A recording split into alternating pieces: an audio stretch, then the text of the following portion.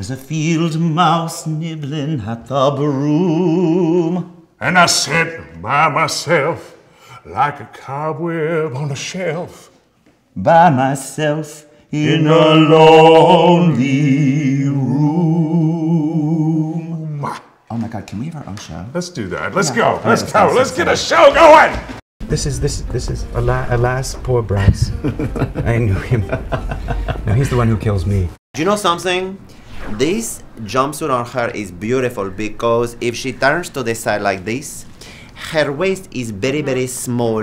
Jace, I agree. Do you agree with me? I like that you are playing with me like that because uh-huh. I like to have fun. It's just Yes. fashion. No, It's it's not very in nice. grip. I love and it. she's very sassy in this dress. Right? Very S E S S Y sassy. Did you catch the big game? Do you really care what anyone's wearing to this opening night? Not really. I know, me either. I'm just pretending I do. George, George, oh Yes. oh my gosh, so nice to see you. what do you think? I love your After hat. all your advice, I went with this. It's okay. No, no, no. Never, I would never cheat on you. You never cheat on me? Okay, because seriously. Free forever. Oh my god.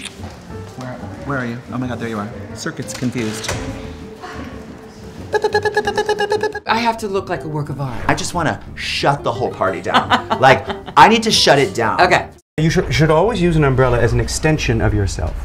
So many people, you know, don't know how to hold canes or sort of like this, but it's always an extension. Oh. It's an architectural support. Yeah. Um, it's something to point with, Yes. something to, to threaten Oh with. my God, sweet uh, and indeed, you know, and fence with.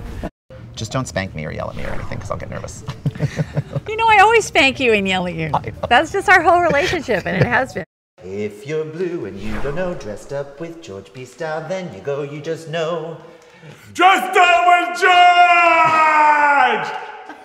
and then you go of just.